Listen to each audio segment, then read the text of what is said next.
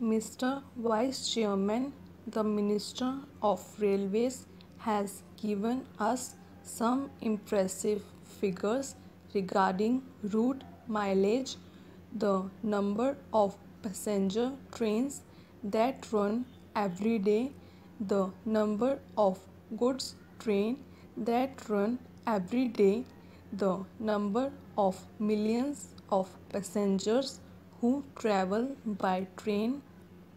He has tried to compare them in view of the vastness of the country, the large number of passenger trains being run, the large number of goods trains being run, and the big route mileage.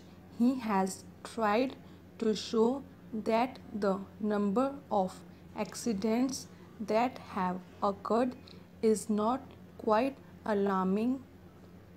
I do not know what his idea was when he tried to compare the number of accidents against this background. Committees have been appointed when serious accidents took place to find out why such and such accident took place. The Shah Nawaz Committee, which was appointed in 2006, gave a very voluminous report. Therein, they had stated the causes of accidents that occurred during the period before and they had also suggested some preventive measures. The government have again appointed another committee headed by Dr. Kunzru. It is more than 8 months or so. I do not know why an interim report has not been submitted by this committee. It would have been better at least for discussion on such an important subject like this if that commission had submitted an interim report. We could have offered more constructive suggestions. Unfortunately the committees that are appointed take their own time to submit their reports.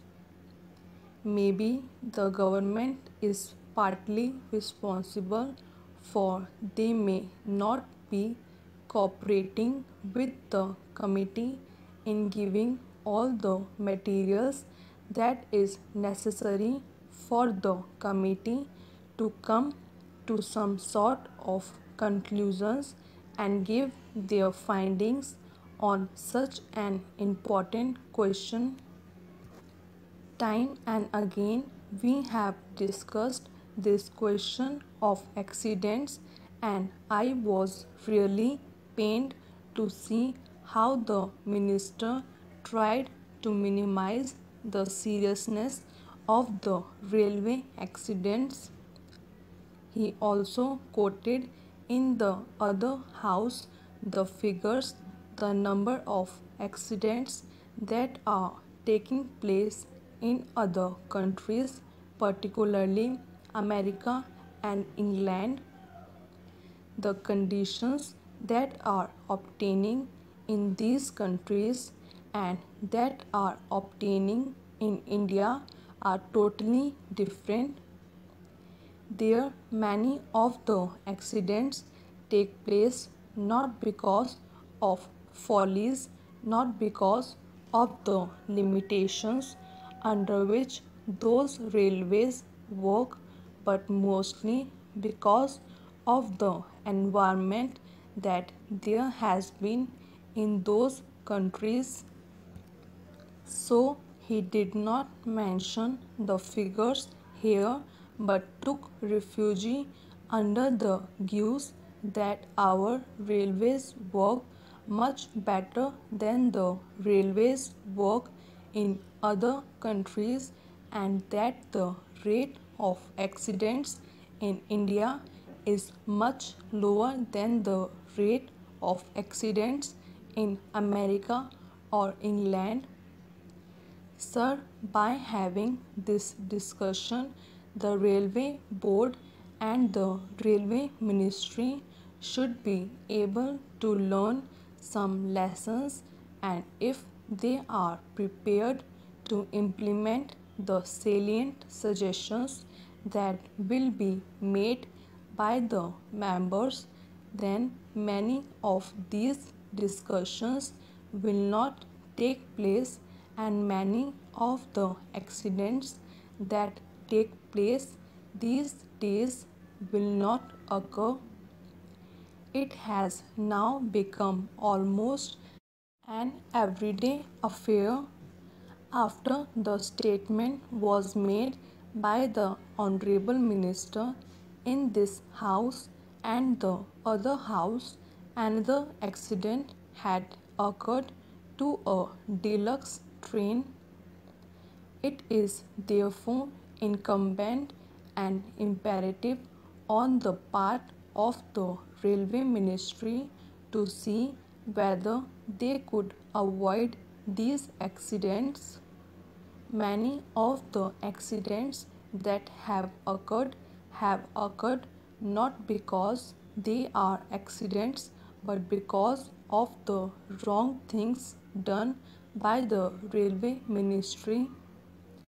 When the train leaves the station, care is not taken to see whether it has a defective engine, defective locomotive, whether proper check was made of it, whether the bogies that are attached to the train are properly checked up, whether the screws and bolts that are there are properly placed in their proper places and so on.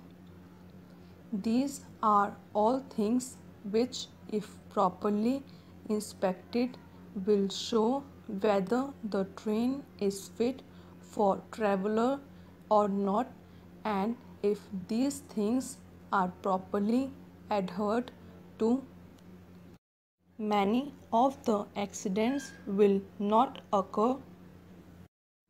A member in the other house has reported a statement from the statesman of Kolkata that the loco shed people asked the driver of a particular train to somehow manage even though he complained that he could not take the train.